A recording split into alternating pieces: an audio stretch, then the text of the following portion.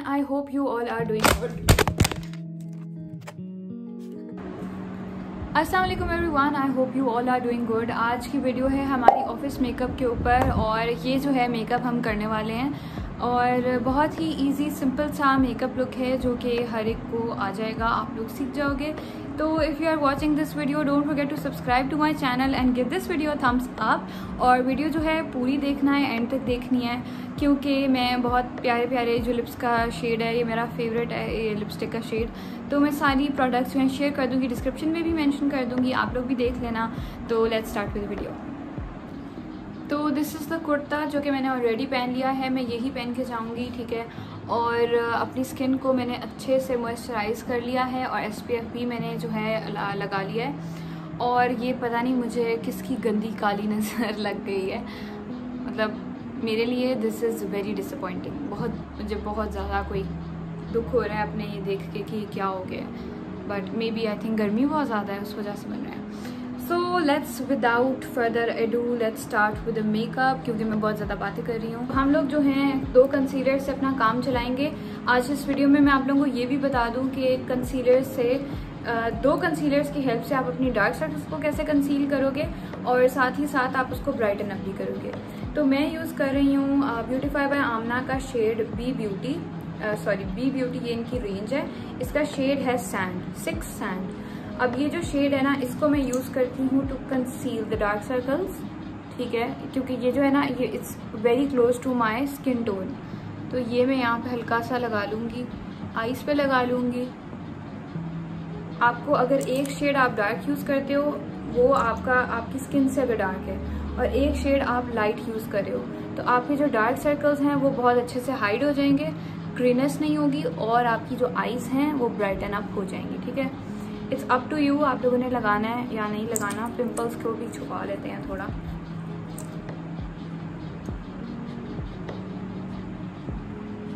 So bad मैं बता नहीं सकती, मैं मैं I can't tell you guys कि मुझे किस कदर अफसोस है इन पिंपल्स का। तो अगर आप वो वीडियो देख रहे हो and you guys like my skin तो please don't forget to say माशाल्लाह। और इनफैक्ट आई थिंक हमें कहना भी चाहिए। तो ये जो है, ये आप लोग ब्लेंडिंग चेक करो। बहुत अच्छी हो जाती है। ठीक है, बाकी का मैं ब्लेंड कर लेती हूँ जल्दी से।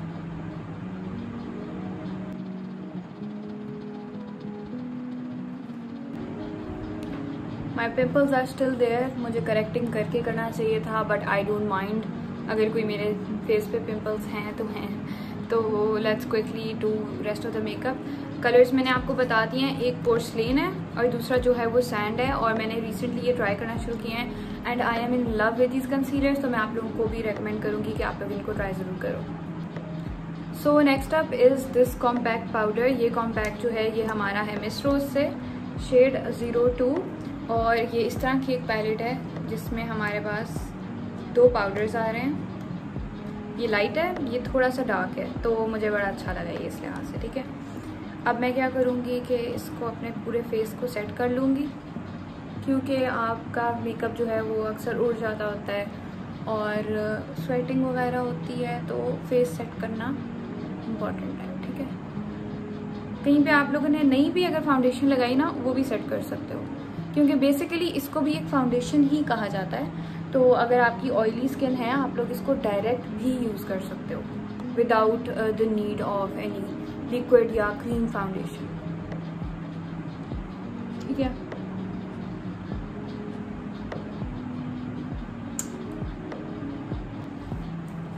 Next up is this face setting spray जो कि हम यूज़ कर रहे हैं ताकि हमारी जो फेस पे पाउडरी फिनिश है, वो कम हो जाएगी।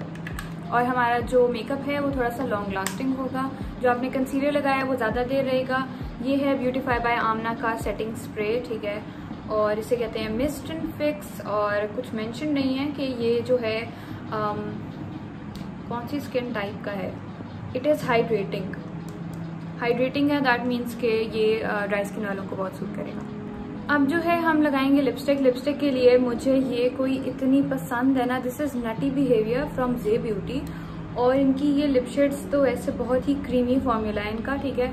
और लेकिन ये जो शेड है ना मुझे कैमरे में सही से ये नज़र नहीं आ रहा but this is a very beautiful rust shade ठीक है? ये एक ऐसी लिपस्टिक है जिसके साथ मैं अगर ना भी लगाऊँ ना आ, क्या कहते हैं लाइनर तो दिस लुक्स वेरी प्रिटी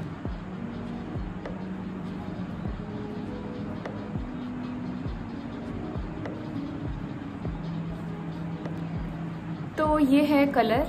बहुत ही एक नेचुरल न्यूड सा शेड है, जो कि बहुत ज़्यादा क्रीमी है और मैट है। इसकी फिनिश जो है वो मैट है। इट्स नॉट ग्लॉसी और वेलवेटी तो आप लोग जो हो ये ले सकते हो। मैं नाम दोबारा बता देती हूँ। नटी बिहेवियर मैं नीचे मेंशन भी कर दूँगी। लिंक्स भी मैं अब मेंशन कर दूँगी, क्योंकि मुझे फिर इतने कमेंट्स आते हैं। मैं किस किस को जवाब दे रही होती हूँ। तो आई विल बी मैंशनिंग के कौन सा शेड है जो भी मैं यूज़ कर रही हूँ। अब हम आईब्राउज को सही करेंगे क्योंकि बहुत डल है, मुझे अच्छे नहीं लग रहे और थोड़ा सा शार्प आईब्राउज अच्छे लगते हैं। तो for brows I am using this pencil जो कि है हमारी मिस रोज की, ठीक है? और शेड है इसका zero four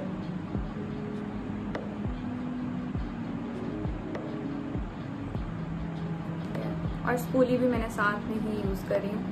To smudge it all out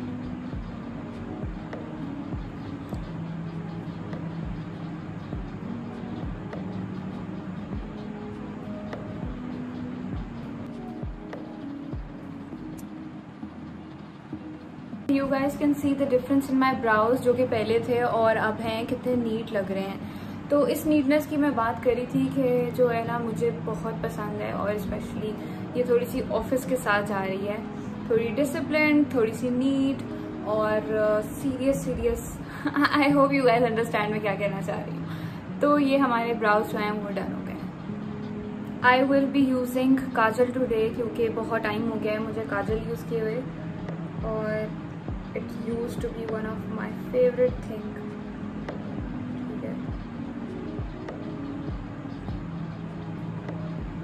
थोड़ी सी आईज जो है ना वो प्रोमिनेंट लगती हैं अगर आप काजल यूज़ कर रहे हो तो। अगर आप लोगों को लाइनर पसंद है you guys can go with liner लेकिन सुबह सुबह जो लाइनर के विंग खराब हो जाते हैं ना यार, वो उससे बचने के लिए you guys can go for this pencil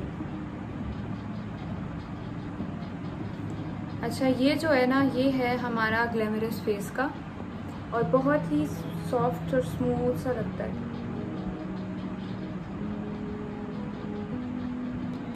Next I will be going with my favourite mascara from Miss Rose और ये है जिसके ऊपर यूँ चीता बना हुआ है। और ये चीता ही है ना?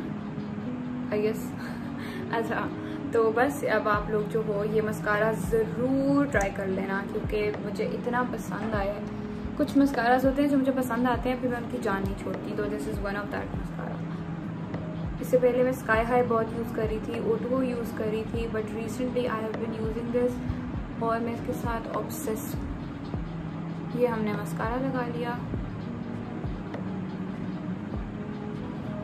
बहुत ज़्यादा नहीं लगाना, थोड़ा सा ठीक है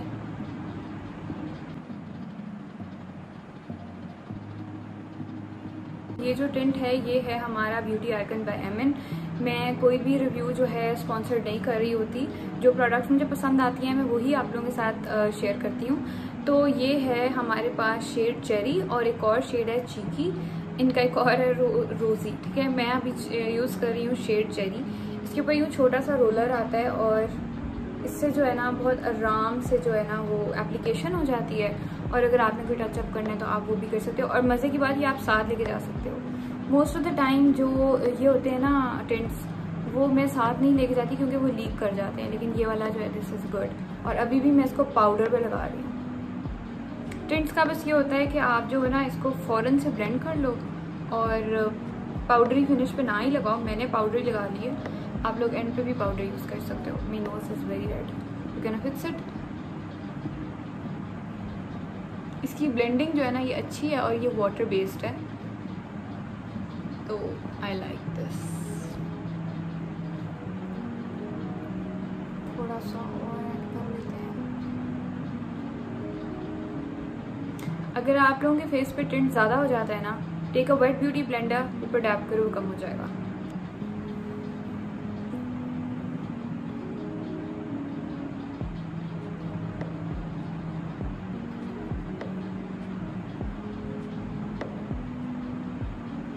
तो इससे क्या होगा? ब्लश से थोड़ी सी जो आपकी मेकअप लुक है, वो फ्रेश लगेगी. Don't go overboard video makeup बहुत ज़्यादा नहीं लगाना अच्छा नहीं लगेगा. ब्लश खास तौर पे प्लीज़ कम रखना है. तो yes we are done with the makeup I hope के ये मेकअप ट्यूटोरियल से आप लोगों ने सीखा होगा और थोड़ी सी ऑफ़िस लुक भी लग रही है. ये दो छोटे से कोई टॉप्स हैं जो कि मैं ढूंढ के लाई हूँ. तो ये मेरे कपड़ों के साथ अच्छे लगेंगे.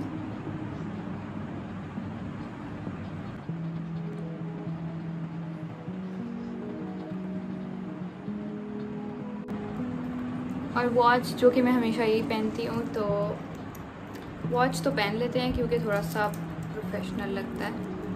तो